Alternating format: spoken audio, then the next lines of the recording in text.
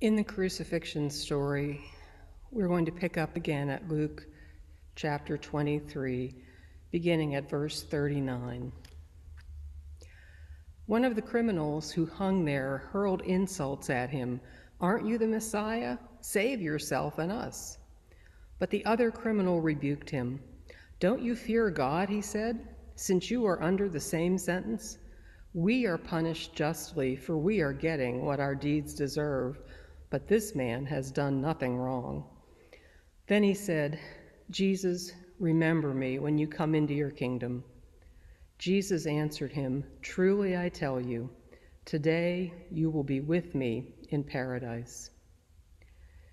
It was now about noon, and darkness came over the whole land until three in the afternoon, for the sun stopped shining and the curtain of the temple was torn in two.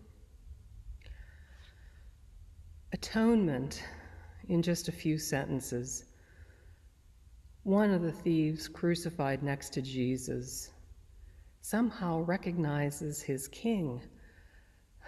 And what a king! And what faith this man must have had to be able to recognize a king, the Messiah, hanging on a cross exposed, nearly naked, bleeding, dying, gasping for every breath. And yet the thief says to him, Jesus, remember me when you come into your kingdom. He recognizes his king and he asks for grace.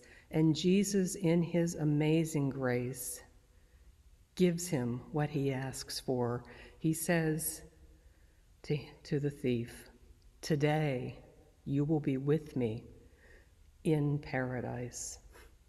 It is the promise that we all cling to. Jesus, remember me. Jesus, show me your grace. And every time we turn to him and ask for that grace, Jesus assures us, You will be with me in paradise. This is a pandemic promise. It is the promise that we cling to over the last year, certainly, as we have struggled with the hazards of COVID. I saw photos just the other day of an older woman in an ICU bed. She was dying of COVID, and the nurses were holding her hands as they were sedating her and preparing to intubate her. And I started to weep.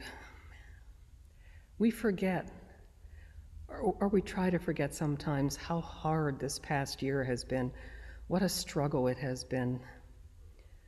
The trauma that we have endured collectively as a society. And here's the irony, and maybe it's not irony, maybe it is just grace.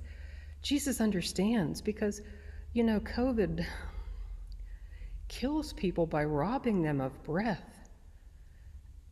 And Jesus died the same way.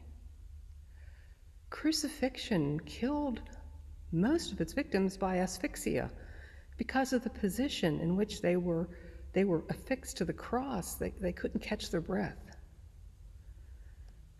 And so when we think about people who, who do indeed die of COVID, struggling for breath in the hospital.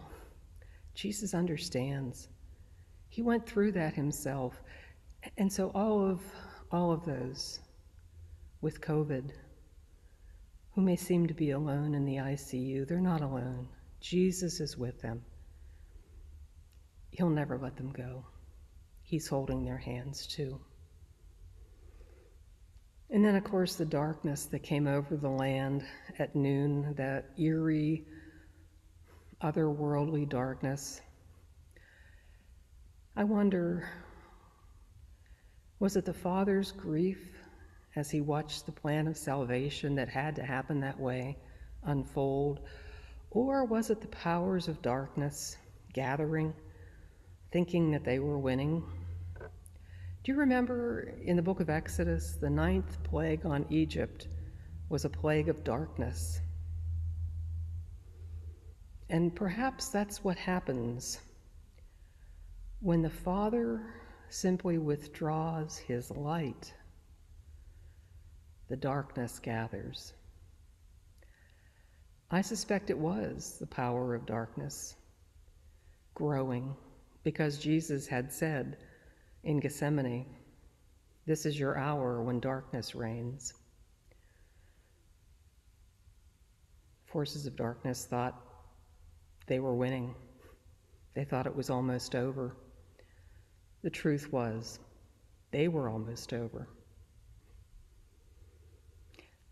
But how frightening it must have been for those who were gathered around the cross and, and those outside the, around the whole area because there is some attestation to this phenomenon of darkness outside Scripture. It wasn't just something that the Bible speaks about. And we, as a whole human species, fear the darkness.